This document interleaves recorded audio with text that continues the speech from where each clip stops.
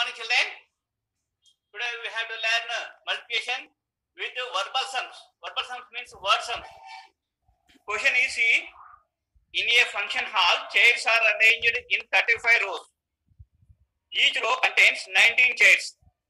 What is the total number of chairs arranged in the function hall? See, in a function hall, there are number of chairs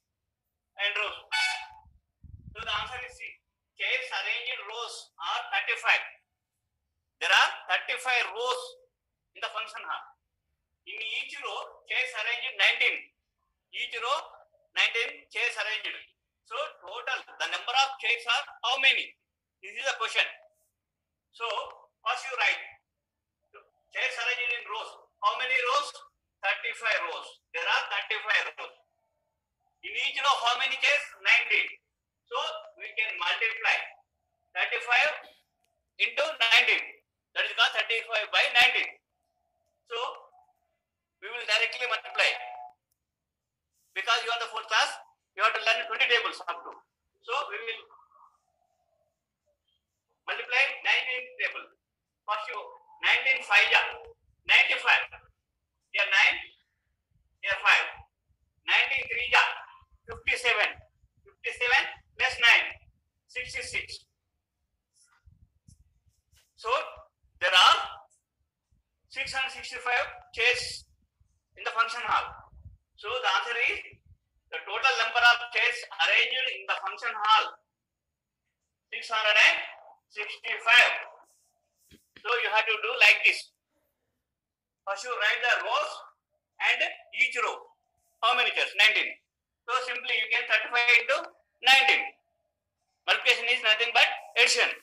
So you did not add 1 to 3, you not, did not count. Only simply you can learn the tables and multiply. Okay, thank you children. All of you see, uh, open the book and page number 58. All of you see the question, question number 3. Do this. The weight of one bag of rice is 50 kgs. How much do 17 such bags weigh? See children, there are the weight of bag, one rice. There are rice, rice bags. One bag is bag of rice weight is 50 kgs. So for 17 bags, how many kgs? You can understand. One bag weight is 50 kgs rice.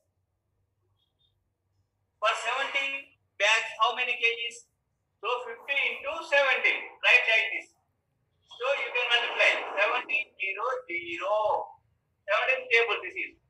17, 0, 0. 17, 5 ja 85. In 17 bags, there are 850 kgs rice.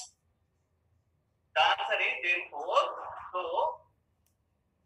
in 17 bags, weight is 850 kgs, kilograms.